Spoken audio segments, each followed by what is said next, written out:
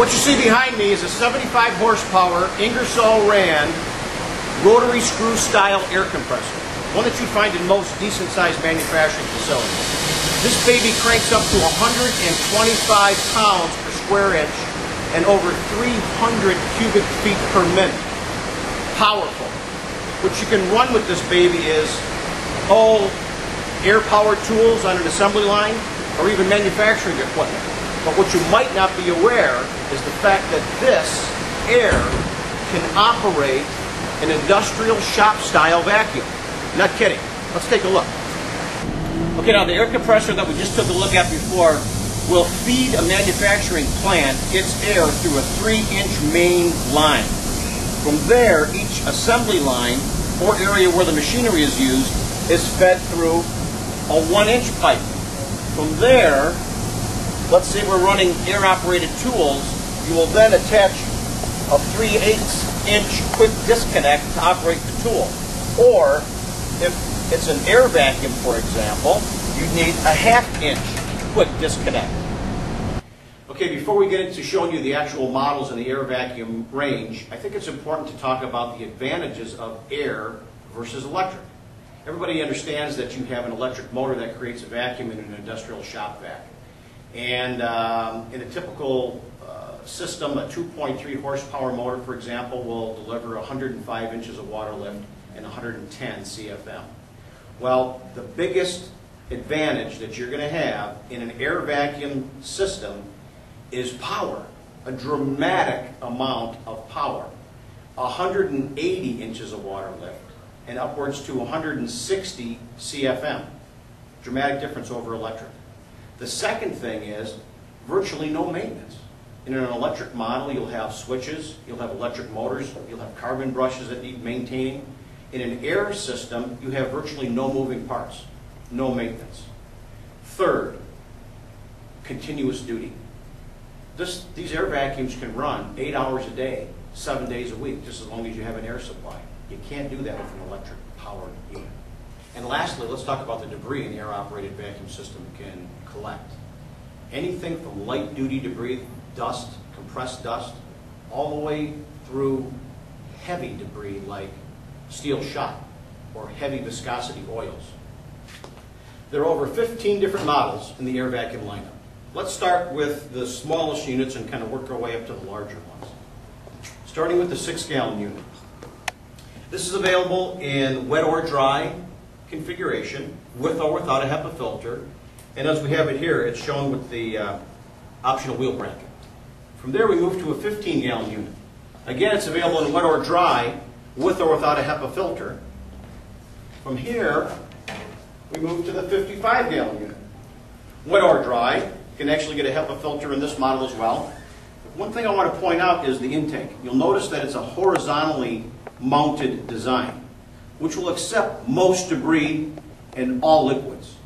However, when you start to get into debris that's a little bit more tricky, like metal shavings, for example, or windings from a milling machine, something that would have a tendency to clog in a horizontally mounted intake, we have the same air vacuum power, but in a vertically mounted intake.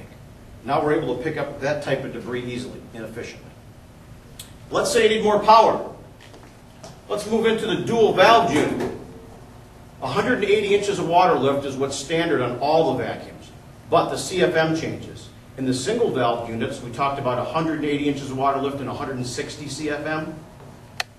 In the dual, we move to 360 CFM. Very powerful. If you need even more power, we have a quad, a four Venturi'd unit which will crank up to over 700 CFM.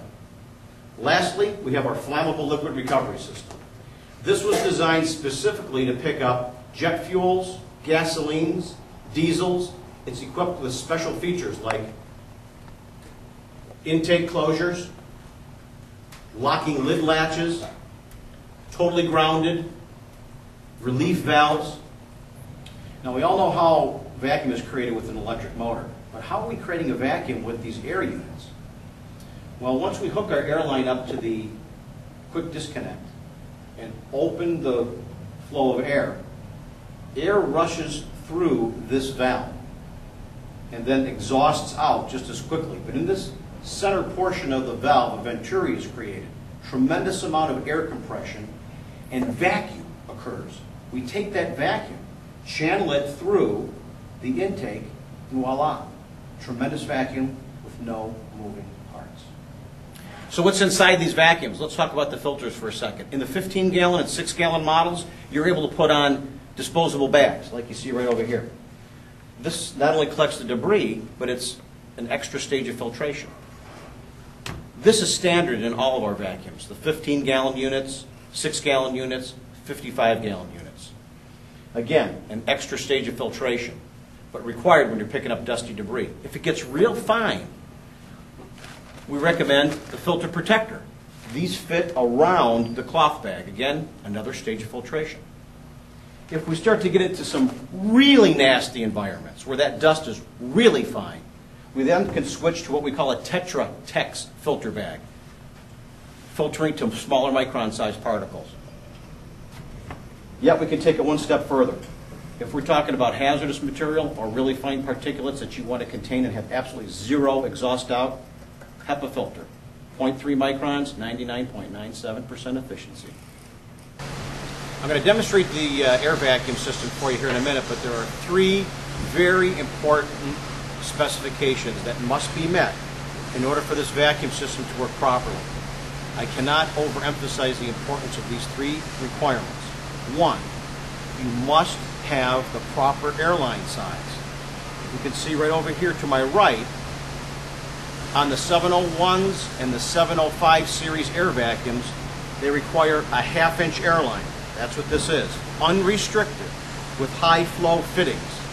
So there could be no restriction from the one inch pipe to the half inch drop. On the 702, the dual valve unit, you must have a three quarter inch airline. No less, no restrictions. And on the 704, we need one size larger, a one inch airline with no restrictions.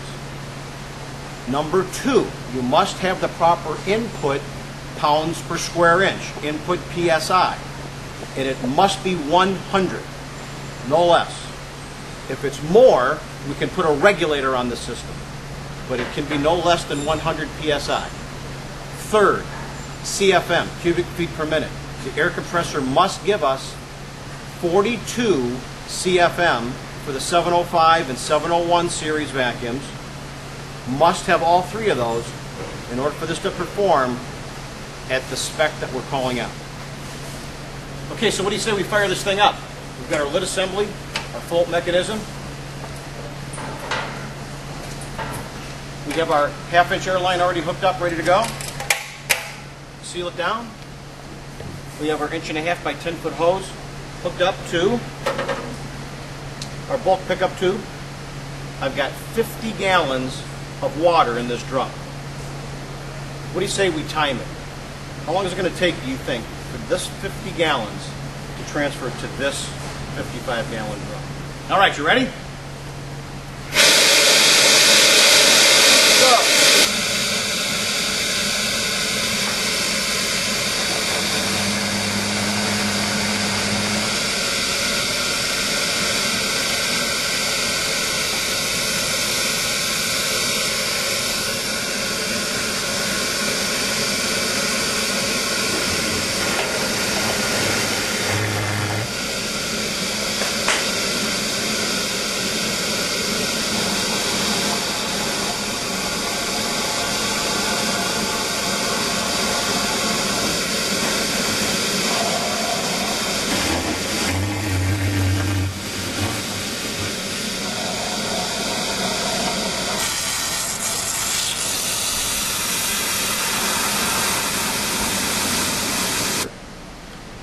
That amazing or what?